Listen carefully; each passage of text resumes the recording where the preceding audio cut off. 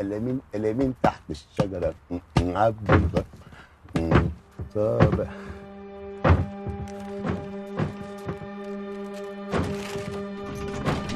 ولا فتحي يا فتحي يا فتحي افتح افتح يا افتح يا فتحي افتح يا فتحي يا فتحي يا افتح يا يا فتحي يا افتح يا فتحي افتح يا فتحي إيه ده؟ إيه ده؟ أنا إيه اللي نايمني في النعش؟ عاوزين تموتوني بالحياة يا أولاد الكلب يا فتحي افتح يا فتحي في حد بيدبدب؟ عصام أهو. استنى استنى. في إيه يا عم خميس؟ في إيه؟ خضني. حاضر. والله العظيم اللي جاي معاكم معدنا في عربيه الميتين دي في إيه؟ معدنا في العربية دي يا عم. في يا عم معدنا كمان في إيه يلا؟ يا عم يا عم يا عم انت عندنا في العربية دي يا عم جرالك إيه يا يلا؟ عم أنا بتاع في إيه؟ كده يا عم؟ يا عم. في إيه بس تعالى خالص يا واد امسك عفريت يخرب بيتك. عصام. تعالى يا عصام.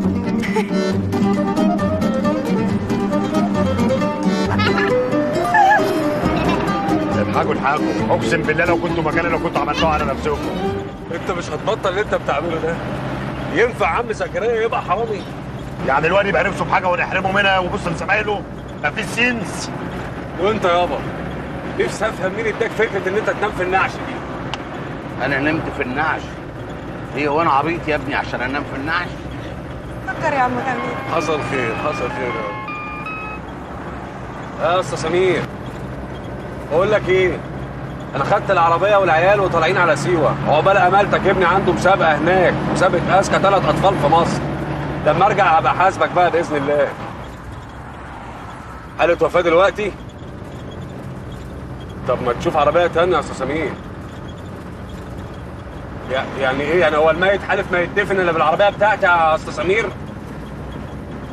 يعني أنت عايز أضيع مستقبل الواد عشان واحد مات؟ بقول لك يا أستاذ سمير أنا مش راجع. لما أرجع بقى من سيوه أبقى حاسبك.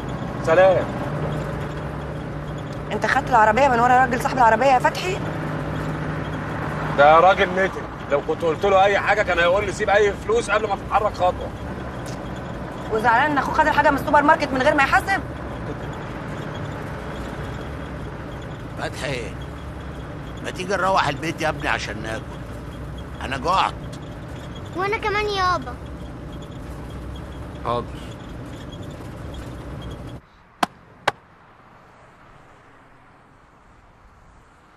يا صفاء هتفضلي بطلي كده كتير؟